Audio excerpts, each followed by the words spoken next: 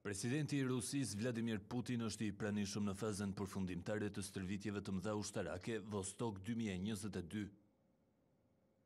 Në këto manovra merr pjesë edhe Kina, që ka dërguar një delegacion tepër të fuqishëm ushtarak, me mbi dy mijë trupa dhe treqind mjete luftarake. Kështu Putin po tregon muskujt përballë botës bashkë me aleatin e saj Kinën. Duke kaluar nga një vend komunist në tjetrin, Rusia po mbështetet në shtete me regjime totalitare për bashkëpunime. Ministria e Mbrojtjes po blen miliona raketa dhe armatime të artilerisë nga Koreja e Veriut për të mbështetur luftën në Ukrainë.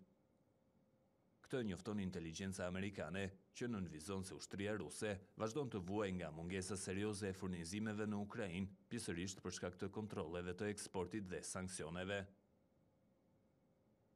Regjimi i Kim Jong Un ka fajësuar SHBA-në për konfliktin dhe ka akuzuar Perëndimin se po ndjek një politikë hegjemoniste që justifikon përdorimin e forcës nga Rusia. Muajin e kaluar, Koreja e Veriut njohu pavarësinë e dy shteteve të vetëshpallura në Ukrainën lindore, atë të Donetskut dhe Luhanskut, duke u zotuar të thellojë miqësinë e saj me Moskën. Putin tha se të dyja vendet do të zgjerojnë marrëdhëniet e tyre gjithëpërfshirëse dhe konstruktive dypalëshe, sipas medias shtetërore të Phenianit. Ndërkohë, Kremlini duket se ka shtyrë planet për të aneksuar një pjesë tjetër të.